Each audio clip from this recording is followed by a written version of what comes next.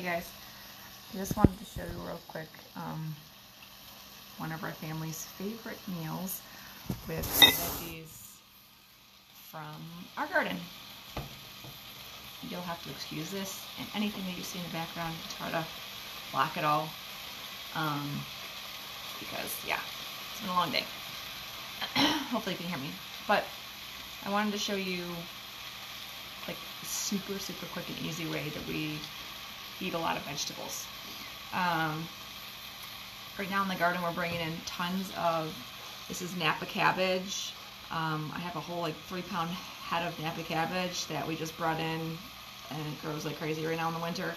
Um, in here we have some red Swiss, Swiss chard and um, you know obviously great for all kinds of different vitamins and minerals and things that it's just super pretty. I already, I already chopped it up, but it's like really pretty. I've got some tatsoi in here. I've got um, some giant Swiss chard, which kind of looks like this.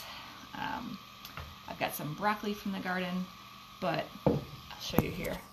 Uh, I'm gonna turn it around because I already have my harder vegetables that are that take a long time to saute. Obviously, I do those first, and then I throw my greens in at the very last minute because these things only take just a few seconds to make um, they just basically wilt down. This is a whole, like this is half of my, half of the, I only used half of the Napa cabbage for this meal. This is the other half. Um, but, like I said, tatsoi, Swiss chard, Napa cabbage, all of my, my softer greens, I will throw in. Spinach, if you have it, throw it in here at the very end. But I've got some broccoli, I've got some carrots that we just pulled up, um, all kinds of stuff. Celery, uh, I bought the celery, but then we have the peas. I'd say probably a good 80% of this we grew, which is really nice to be able to eat a lot of what you grow, or have most of what you eat, you grow, if that makes sense. Sorry, this is not your professional cooking video. Here's what I do. I throw all that stuff in here. I saute the harder, the harder vegetables, the things that take longer, mushrooms, carrots, onions, all that kind of stuff. Um, once it's all kind of tender, then I will throw in a whole bunch of garlic. I buy the minced stuff because we go through so much garlic and I'm lazy. So that's a great alternative. Coconut aminos, if, if, you like soy sauce, it's the same thing. Um, this is the gluten-free um, alternative coconut aminos. It's really good. You should look into this stuff. And so I basically, I'll do maybe, I don't know, three tablespoons-ish. Got a lot of veggies that are going in here. And my kids like a lot of sauce yep. on their rice. Yep. I have a whole instant pot full of jasmine rice cooking. I've got some steak that I need to take off of the thing. Um, I got some steak that I just seared up and I'm going to slice up and throw in here. But I can, sorry, hold on, pause while I take this off of the, the griddle. Um, I'll slice up the steak and throw it in here. After I do this, I got the coconut aminos, the garlic, a little bit of honey. Obviously, I've got to put some honey in here because, well, if you know me, you know why. And it's cold, so it's to take a while. Um, but it just adds this really delicious, like sweet and tangy um, flavor with the saltiness of the coconut aminos.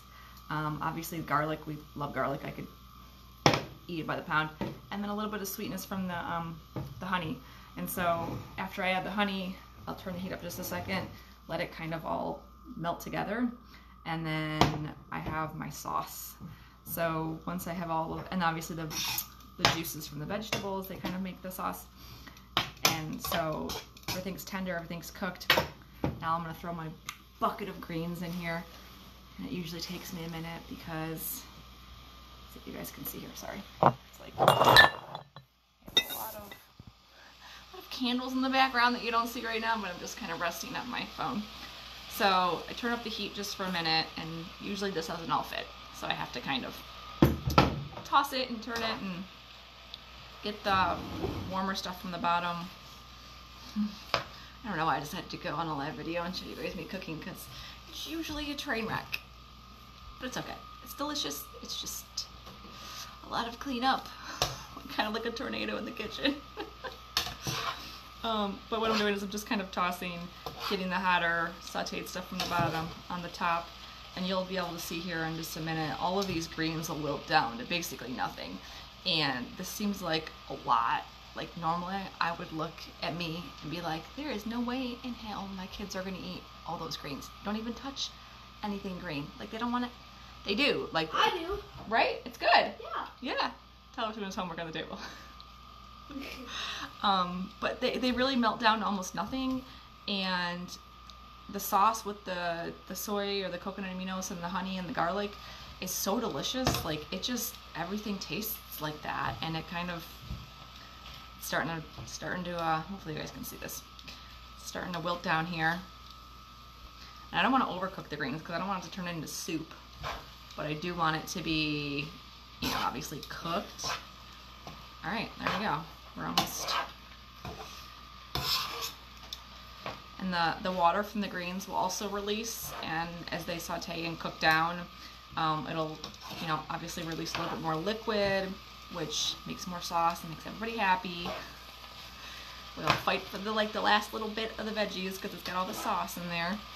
So I try to add as much as I can otherwise we're fighting over it. All right that's pretty good. Throw the rest of this in and this Napa cabbage is it's the the harder whiter veins, stalks, I guess. Um, hey Lily, I'm glad glad she likes it. Um, these harder stalks, they'll they'll remain a little bit crisp, almost like a celery kind of texture. So um, it's a nice combination of, you know, the the crisp stalks. I think that's the word for it, right? My brain power is like 10% right now, guys. I'm telling you. It's like 6:40. We're like an hour late for dinner than usual, and just like let's just shovel this in. All right. Well, I just wanted to show you guys how I make that, um, and how to get like 900 vegetables into your. Probably not 900, obviously. Let's see. We've got onion, celery, carrot, mushrooms, broccoli, tatsoi, Swiss chard. Um, Napa cabbage. And I know I'm forgetting a whole bunch of other ones in there too, but I'll go back and I'll go back and really think about it and um, let you know how many are in, like what else is in here. Celery? Did I say celery? I don't know, but a lot. There's a lot of vegetables in here that normally would be very hard for convince my kids to eat. But that little bit of steak that I cook, you know, I don't cook like a massive amount. Um, I've got these cube steaks here that I already have seared. Um, and I'll just saute these up, no, I'm sorry, not saute, uh, slice them up and mix them all in. And boom, I just made expensive er steak. We the stuff from our neighbor down the road. It's delicious. It's actually really well, really well priced. But I mean, we just try to um, limit our meat consumption as much as possible. You know, your whole plate shouldn't be full of meat. It should be mostly vegetables. Whether you want to hear it or not, it should. And I'm the same way. I'm like, eh, but I really just like meat and potatoes. I do too. But this makes it stretch out a lot and throw a whole bunch of greens. Um, throw this on top of a bed of jasmine rice, a little bit of steak sauteed up. I'll throw the steak in here and mix it all up whenever they, this is all um, kind of cooked down. Super easy, just a handful of ingredients. I have this like once a week because it's so easy and so quick. All right, well, hopefully you guys liked this glimpse into how we eat all of the vegetables that we grow. And this makes me want to grow even more because I need to grow celery now. I need to grow a whole bunch of stuff. Is it too late to grow carrots? Um, I'm going to start, I'm going to go out this weekend probably, Danielle, and plant some more carrots it might get too hot for them. I mean, we've had like a super hot spring already, it seems like. Um, it might get too hot for carrots, but I mean, I'm gonna throw them in there and see why not. I feel like we're pretty good. I think we're probably right on the cusp of it being too late, but throw some in the ground and see what happens. All right, well, that's my giant, massive amount of greens that we grew. Only took a few months If you don't have a winter garden, you should totally grow one because it's very easy. Um, and here we go. That's our veggie stir fry. We got some steak here that we're going to be slicing up and throwing in here. And put it on top of a bed of jasmine rice, and it is. If you haven't done instant pot jasmine rice, you should totally do it because it's awesome. Never, never too sticky. Um, but here we go. Bon appetit. Let me know what you guys put in your stir fry. I always am curious. Other people, I mean, other families have their own like special favorite meals, and maybe you throw something in yours that I haven't even thought about. Maybe I can grow it. Bye, guys.